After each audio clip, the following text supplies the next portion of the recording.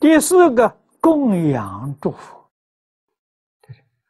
人要修福，世出世间最大的福田，无过于佛陀。所以供养佛能修大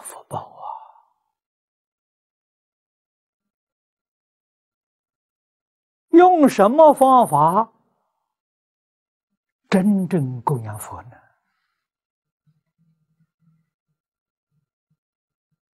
给诸位说，弘法利生是真正供养佛。啊，让社会大众对于佛法本来的面目认知了，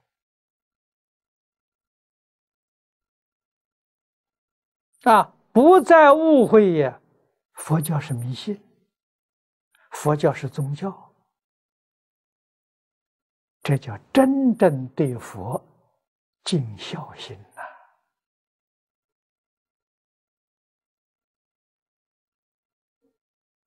啊，一定要晓得，释迦牟尼佛当年在世一生为我们所实现的。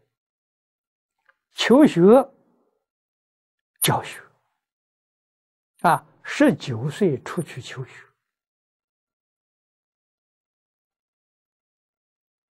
三十岁就明白了，啊，大彻大悟。觉悟之后就开始教学，教了一辈子，七十九岁圆寂的。这四十九年当中啊，没有一天他不教人呐。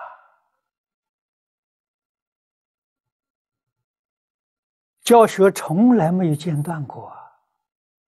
要知道，一个人去找他。他教一个人，两个人去找他，他教两个人。啊，十几个人找他，他就教那十几个人；几百个人教他，教他，那就教几百个人。我们在经上看到的啊，一生讲经三百余会，那三百余会就是我们今天讲的。办活动，啊，办班教学，办活动，三百多次，啊，大的活动，人很多，上千人的，啊，时间长，有两三年的，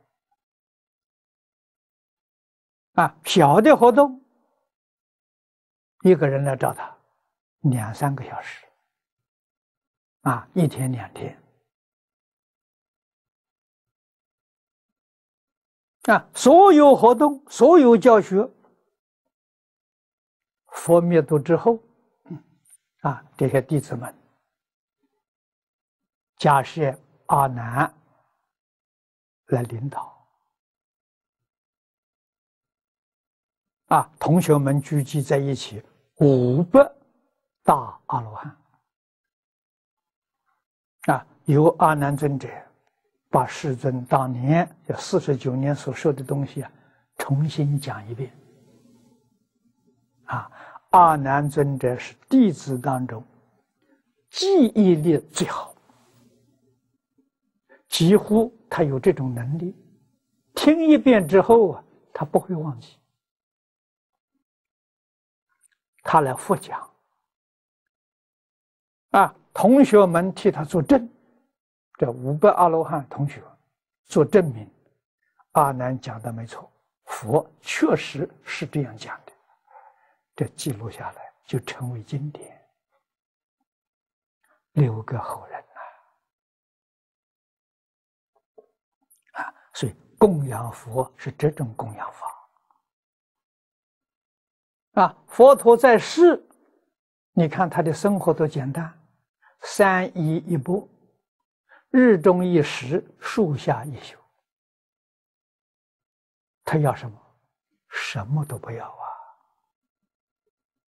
他要后世的学生世世代代的把正法传下去啊，正法久住啊，这是佛的愿望啊！有佛陀的教育，就能帮助众生破迷开悟。离苦得乐！这是对佛的真供养